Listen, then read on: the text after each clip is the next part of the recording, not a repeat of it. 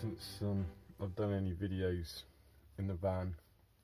Um, really, because uh, I haven't done anything really worthwhile in the van for ages.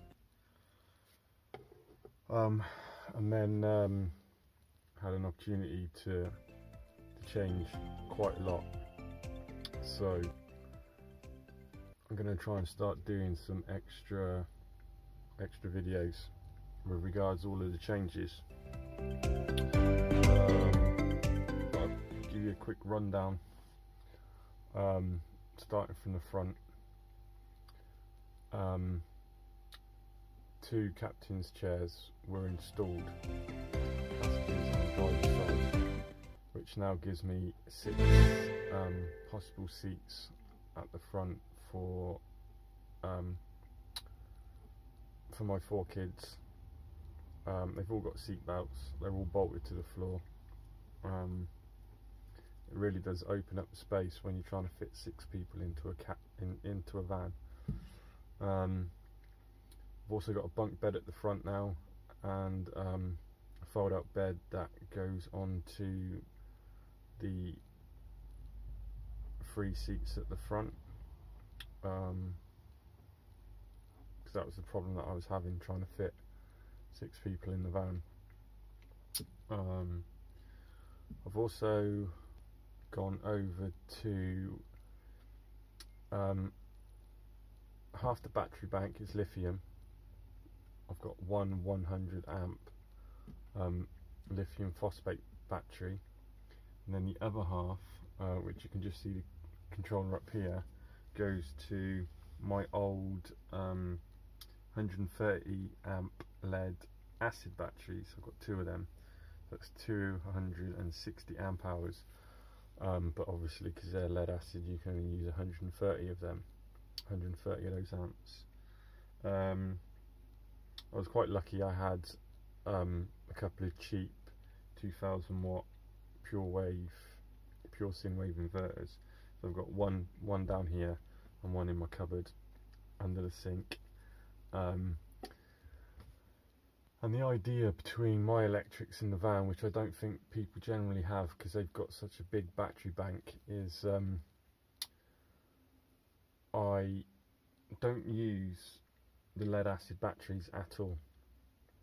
If the lithium battery runs down to zero, or like 5%, what I do is I swap over to my lead acid to power my fridge and my cooker, um, which are the main things.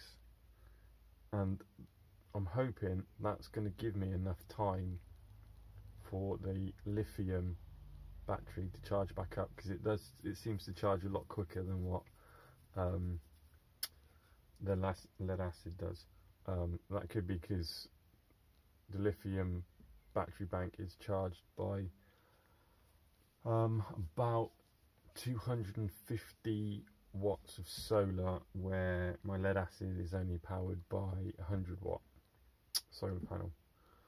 Um, so yeah the idea is to run my fridge which is um, a 240 volt AC fridge that runs through my inverter. Uh, it's quite a good size. I'll show you it. Um, is down.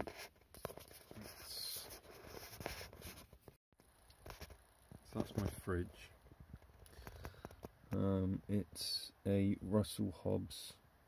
It's got a small ice um, little chest in it as well. Um, when it's on minimum setting, it doesn't actually pull a lot of watts at all, but it does require a good size inverter because of the surge it takes to get it started, to get that compressor started. Once it's started, you leave it on. Um, it's not too bad, unless you run it on full blast, which is setting 5, and then it does tend to take a little bit of power. The plan for the test is um, run the fridge off the 240 AC off my lead acid batteries which are currently showing um, up there showing 2.8 volts on my lead acid at the moment. Um, so I'll run that down to, um, I'll run it overnight and see what it is in the morning. Um, hopefully it's not too low. Hopefully it's around about 11.2, something like that, 11.2, 11.3, so it doesn't drain the batteries too much because you're not supposed to do that with lead acid. And then what I'll do is um, switch the inverter off, uh, which is um, just done there. Switch the inverter off, and then literally all I have to do in order to swap over onto the lithium. So all I have to do to swap over is literally just unplug one of the white ones from the back. The other one goes to uh, an extension socket just on the kitchen.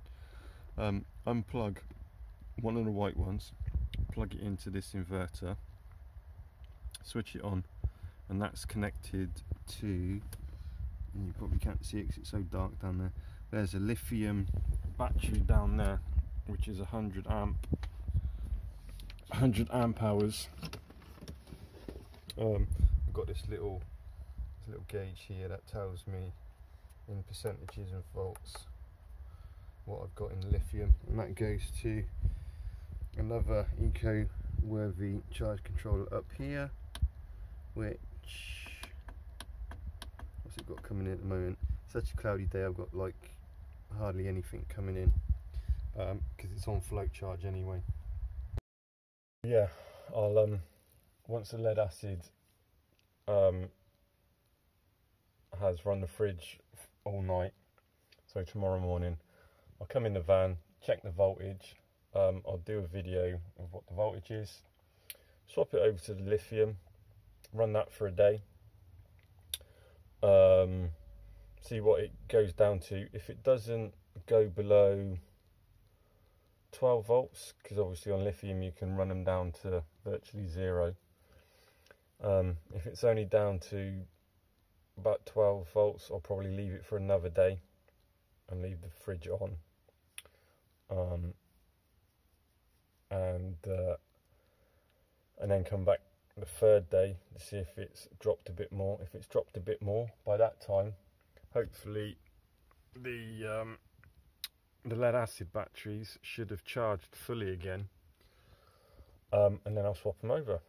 And it's just again a process of swapping the plug over, switching the inverter on for lead acid batteries, running the fridge.